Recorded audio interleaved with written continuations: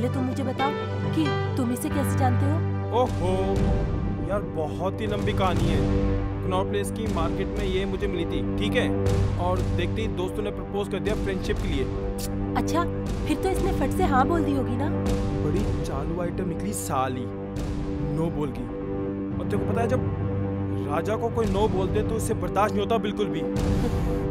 बहुत बड़ी गलती की उसने। उसे ऐसा नहीं करना चाहिए था है ना? मैंने शूटिंग प्लान करी उसको गाड़ी में डाला और रगड़ दिया साली को। तो शायद इसीलिए उसने सुसाइड कर लिया होगा ना? तो करती भी क्या? सुसाइड ही करना तो उसे बस फिर। अब राजा कहीं तुम मेरे साथ भी वो सब तो नहीं करोगे ना? Come on Neetu. मतलब तुम ये सोच कैसे सकती हो? तुम मेरी बेस्ट फ्रेंड हो यार और मैं तुम्हें बहुत लाइक करता हूँ नीतू।